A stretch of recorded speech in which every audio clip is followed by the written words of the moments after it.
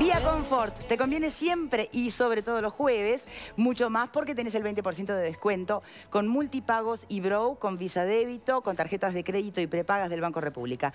Por ejemplo, podés llevarte esta depiladora Philips por solo 79 dólares. Aprovechá, date todos los gustos, pagando mucho menos en Vía Confort. Llama ya, Vía Confort 2507 38 83. Bueno, muy bien, retomamos porque quedaron muchos...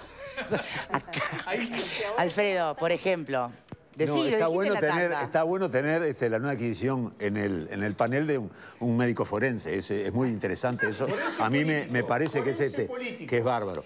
La frase común en estos casos es que media gastada es los muertos que vos matáis y gozan de buena salud. Que no me gusta porque se ha usado mucho. A mí me gusta otra más que dice, no estaba muerto, estaba de parranda.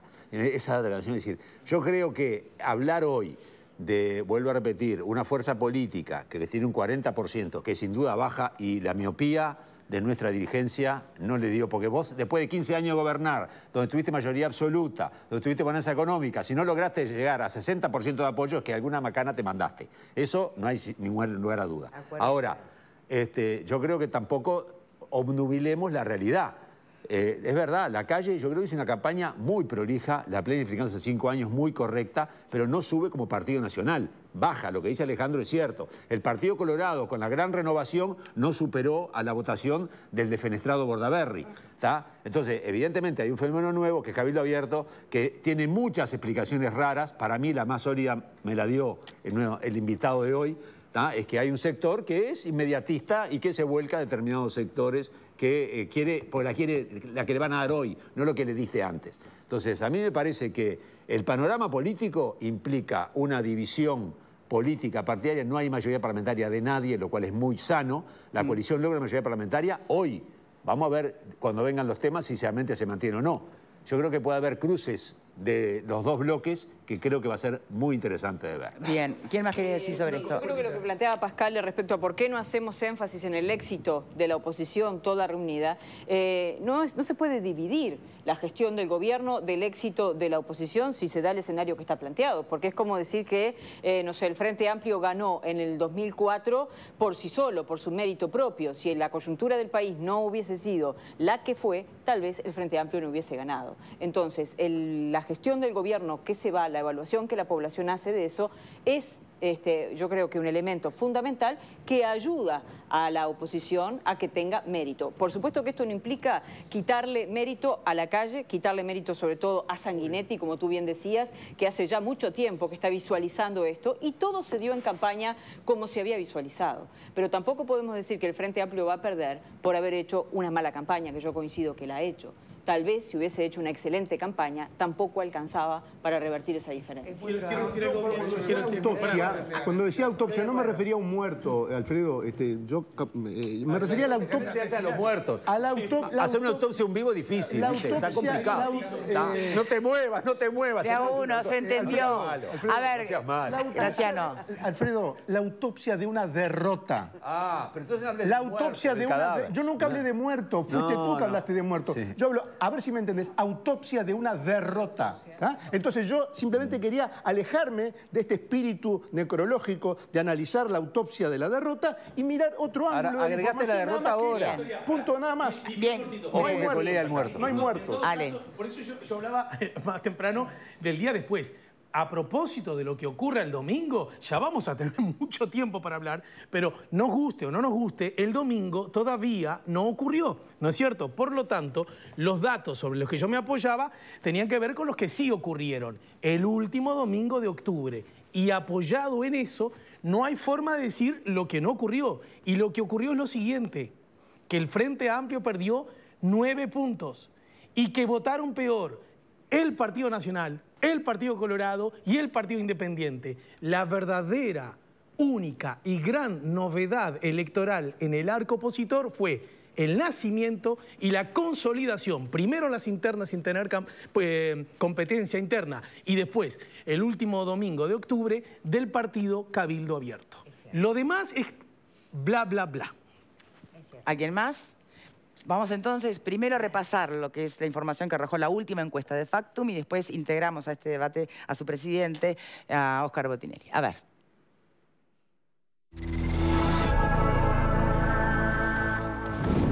La encuestadora Factum presentó en Televisión Nacional sus datos de la última encuesta de estimación de voto de cara a la segunda vuelta, en la que se enfrentarán Luis Lacalle Pou, candidato del Partido Nacional, y Daniel Martínez del Frente Amplio. Según la estimación, el nacionalista pasaría a la barrera del 50%, llegaría al 51% y superaría por 8 a Martínez, que alcanzaría 43%. Habría un 6% de votos blancos y anulados. La consultora señaló que la votación de la fórmula nacionalista oscilará entre el 50 y 52%, mientras que la del Frente Amplista estará entre 42 y 44%. Todos estos datos tienen un margen de error de más o menos 3%. Según la encuestadora, hay un 2% de los votantes que en octubre eligió al Frente Amplio que se inclinarán por Luis Lacalle Pou, el restante 98% optará por Martínez. Dentro de los votantes del Partido Nacional, el 99% elegirá nuevamente a Lacalle Pou y el 1% a Daniel Martínez. El 83% que eligió por el Partido Colorado irá con el Partido Nacional en la segunda vuelta, el 9% con el Frente Amplio y el 8% votará anulado o en blanco. La distribución de los votantes de Cabildo Abierto es similar, 84% votará por la calle Pou, 7% por Martínez y 9% en blanco o indeciso.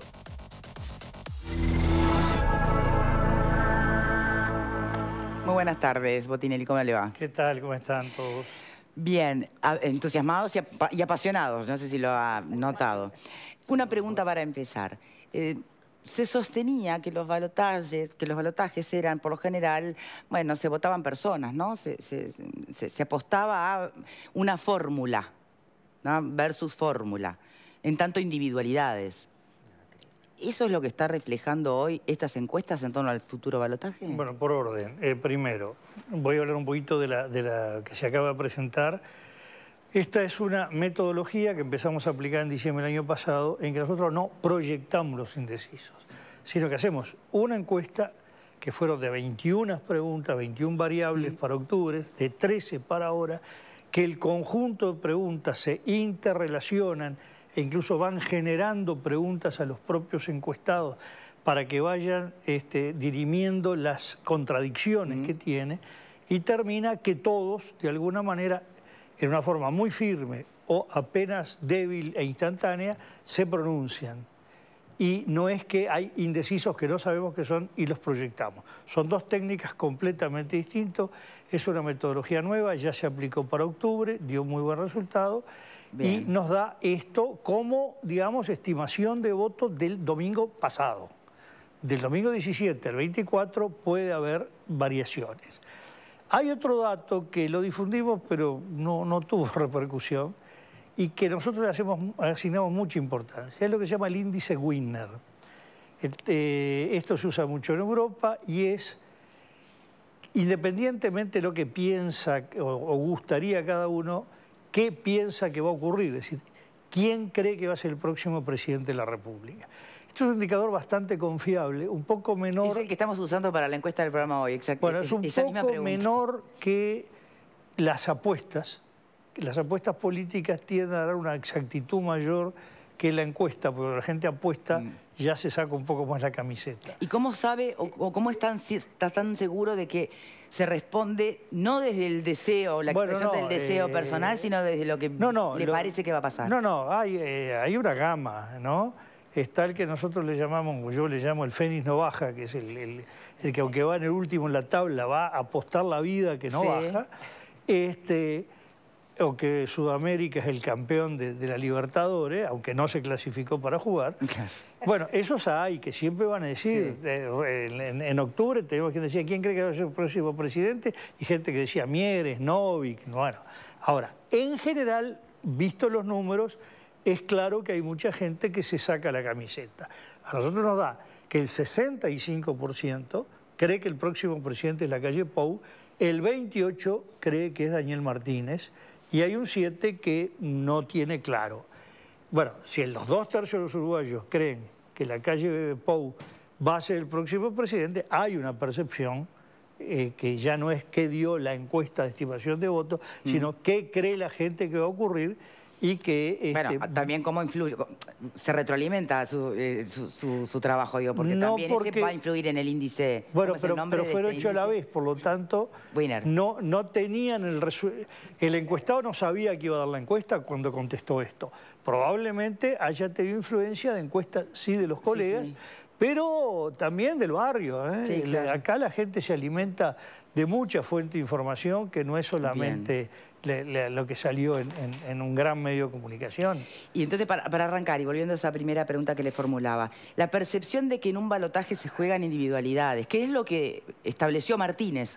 Eso es él resolvió aferrarse a esa teoría. ¿Es correcta? ¿No es correcta? No, todas las cosas pueden ser correctas, no, son teorías. Eh, digamos lo siguiente, en democracias de partidos, como Uruguay, no son muchas las democracias de partidos que tienen balotaje. Democracia de partidos se llama cuando es un sistema altamente competitivo, con reglas que se denominan de poliarquía, pero con partidos estables, no es que no haya partidos, partidos estables de, larga duración que generan adhesiones o pertenencias firmes.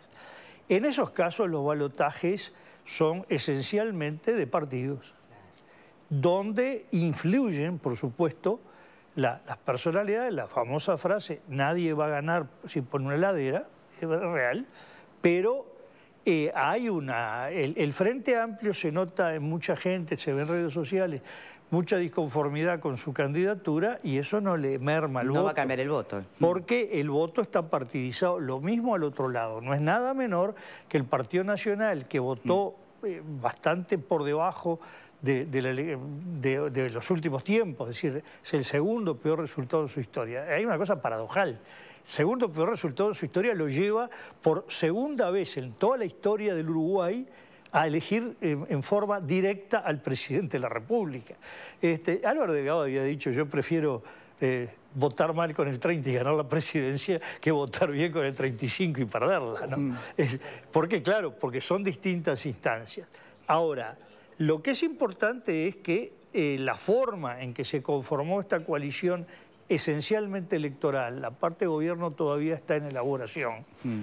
este, eh, ah, hizo que los líderes pudieran transmitir un mensaje que llevó a lo que se diría alto acatamiento, más allá que no hay disciplina eh, o este, obediencia de vida. Pero cuando vemos que más del 80% de los votantes colorados de octubre o de los votantes de Cabildo Abierto van a votar esa coalición que participa en sus partidos y que orienta el voto, está determinando que más allá de los méritos o deméritos de la Luisa Calle Pou y Daniel Martínez, hay claramente una este, orientación muy partidizada del voto. Daniel Martínez precisamente partió de una visión distinta, creo que él tiene un conjunto de visiones que lo llevaron a esta estrategia. La primera que la elección es personalizada, la segunda que él partió de un diagnóstico, que nunca lo dijo él, pero sí algunos eh, técnicos particularmente, de que el Frente Amplio es una marca desprestigiada y que evidentemente la persona debería sustituir al, partido.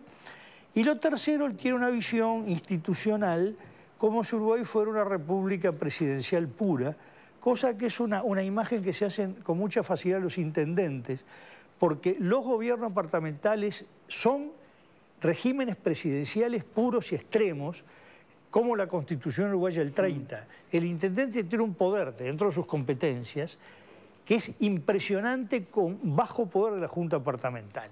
Mientras que los municipios son colegiados. ¿eh? El alcalde es el presidente de, un colegiado, no tiene más poder que ese, más allá de su capacidad obviamente de imponerse. Y el régimen eh, institucional de Uruguay es un régimen semipresidencial o semiparlamentario que implica muchas trabas y donde en una democracia de partidos funciona con partidos que cumplen mucho el rol y que eh, es claro ahora, al no tener ninguna mayoría parlamentaria, que el Parlamento va a adquirir una centralidad que tuvo hasta el, 2005, este, hasta que vino el cambio de, de legislatura, y que en estos años, al tener no solo un partido con mayoría, sino un partido muy disciplinado, tanto que las pocas indisciplinas que tuvo fueron gran noticia. Claro.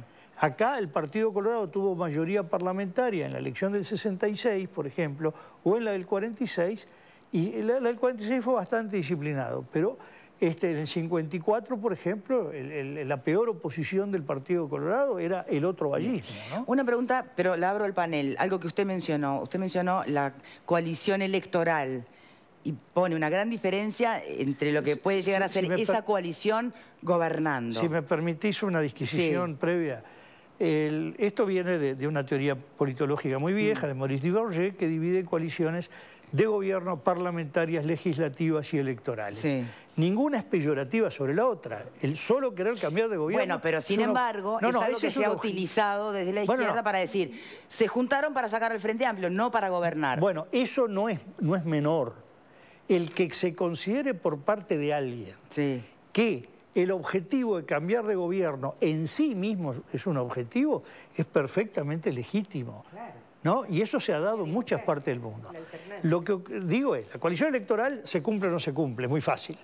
La coalición legislativa y parlamentaria se da a partir de, que empiezan a gobernar, sí. A partir de que haya avances. Y la coalición de gobierno es un poco menos estructurada que la que se estructuró en 1999. Bien, pero ¿y cómo te pensás que lo percibe la gente común, que es la que vota, este, todos, ¿no? Esta, salvo eh, técnicos o más especialistas, hacen esa disquisición? No fue una coalición electoral fueron partidos que se presentaron este, por separado a la elección, cada uno sacó sus legisladores, o sea, no se presentaron los partidos en forma coaligada, primera cosa.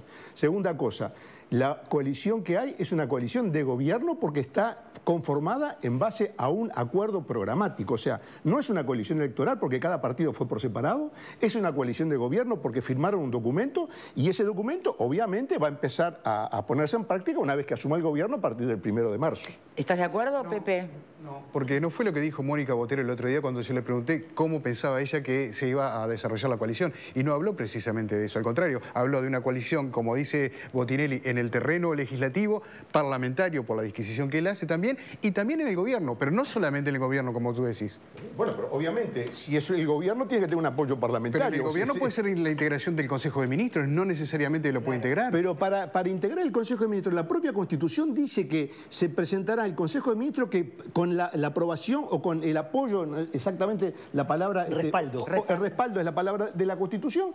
por lo tanto, aunque no hay un voto de confianza como en las democracias parlamentarias europeas, donde el Consejo de Ministros tiene un voto de respaldo explícito, la Constitución sí pide, por lo tanto, obviamente el presidente hace consultas en la base política que le da sustentación y nombra el gabinete en función de los apoyos políticos que reciben el Parlamento. Me parece muy educativo lo que explicaste, Botinelli, sobre el tema eh, precisamente de eh, el parlamentarismo o el presidencialismo de la Constitución y cómo lo tomó no solamente eh, Martínez, sino el propio primer vocero que tenía este, Martínez, que era Méndez, mm. y donde hacía énfasis en que efectivamente no le importaban las mayorías parlamentarias, porque ellos iban a gobernar, etcétera, porque la Constitución nuestra era presidencialista, etcétera. Pero mucho más interesante lo que dijiste recién sobre el tema errático que tuvo la campaña, porque al principio yo recuerdo los carteles del Frente Amplio, casi el Frente Amplio no existía, era una marca chiquitita así, no aparecía ni la bandera, los grandes carteles monumentales que estaban en la calle eran una vergüenza, yo decía, pero ¿Quién está haciendo esta publicidad? Había que descubrir la marca Frente Amplio en la, publicidad. Eso formó parte, por eso yo digo, la campaña, estoy de acuerdo contigo, Verónica, no te, no te va a ganar la elección, pero te puede ayudar a perderla. Te puede ayudar a, perder, a perderla y fue errática y, fue cambiando, ¿no? A ver. creo que es un golpe marketinero muy bueno de la calle Pou hablar de la coalición de cinco partidos, cuando en realidad hay dos partidos que son testimoniales, porque mañana los echa, igual mantiene la mayoría parlamentaria, pero del punto de vista global, es decir, somos una coalición de cambios, entonces muestra una Pero que nadie es menos cuando la aritmética es todo ahí. ¿Cómo? claro, está para llegar, para, para en el no, los números, las, los, pero por la supuesto, cuenta, pero lo que, se necesita hasta lo que creo que es un tema, se trata de mostrar justamente de que este, es una gran corriente de opinión ciudadana, que inclusiva, etcétera, etcétera. Mm. Es muy bueno desde el punto de vista marketinero. están todos los, es decir, el resto. Ahora, de gobierno tiene poco todavía, porque incluso el compromiso era para sacarlo sí o sí rápidamente, para mostrar eso. Somos la opción de gobierno, porque bajaron puntos que eran vitales o que fueron bandera de, este, toda la campaña de la calle. ¿no? ¿No le estamos dando también a, la campaña, este, al igual que hablábamos hoy de Frente Amplio, eh, un valor superlativo? Porque yo hoy escuchaba una encuesta que eh, hizo cifra, ¿no? El propio domingo del 27, mientras hacía este, la encuesta respecto a lo que iba a pasar mm. ese domingo, ya estaban haciendo la encuesta del balotage y ya le daba los números, los mismos números que da ahora, luego de todo este, esta articulación que ha sido debate mediante, perfecta, ¿no? De, todos los líderes. Tal vez la gente este, opta por el cambio y el cambio hoy es la calle Pou. Tenga detrás cuatro, tres o este, dos partidos. Hace un tiempo sobre eso mismo que dice Vero, yo señalé que había como dos ejes, cambio, continuidad, que el que de alguna manera representaba el arco opositor, incertidumbre a certezas, que era el que trataba de imponer el, partido de gobierno. Y en esa puja yo entiendo que hace rato ya el que de alguna manera está primando sobre el otro es cambio, continuidad.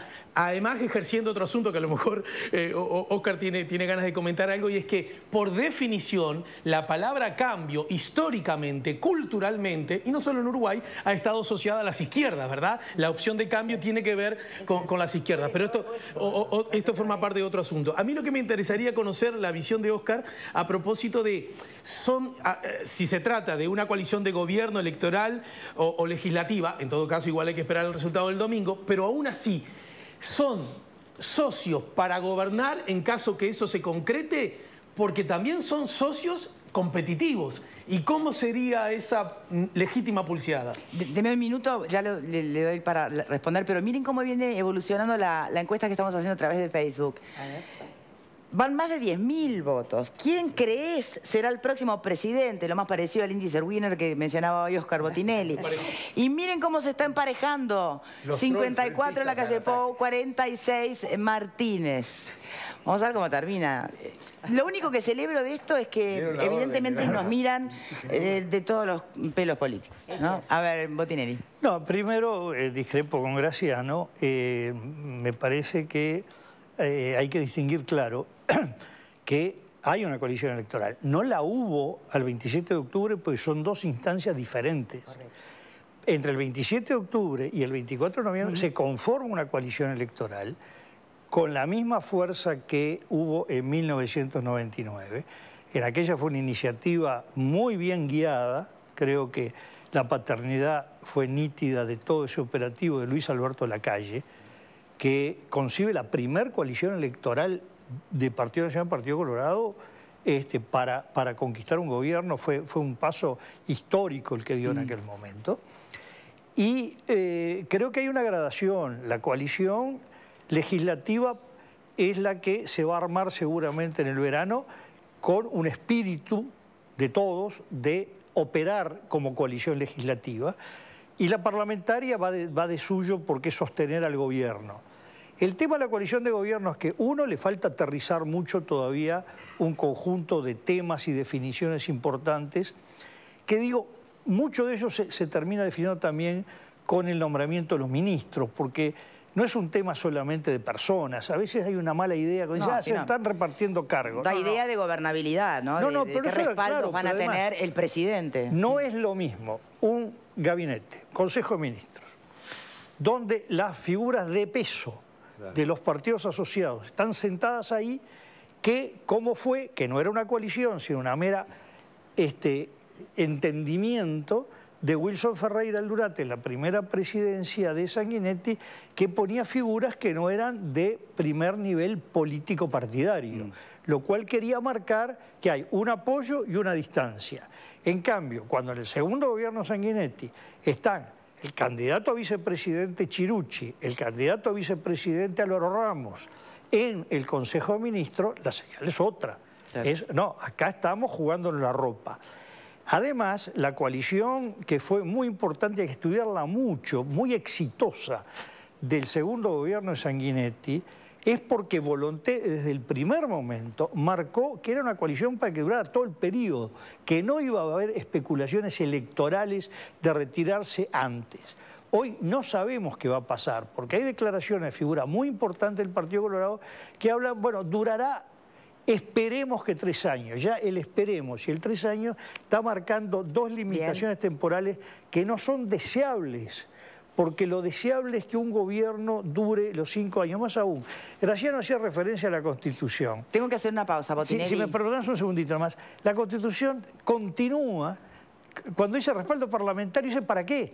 Para asegurar su continuidad. Hmm. Es decir, la continuidad del Consejo Ministro es la teología, la finalidad buscada en el diseño constitucional del 66. Sí, sí, ya sabemos lo que es cuando te van renunciando las figuras, ¿no? Este, en plena crisis. Pausa y ya venimos, ¿eh?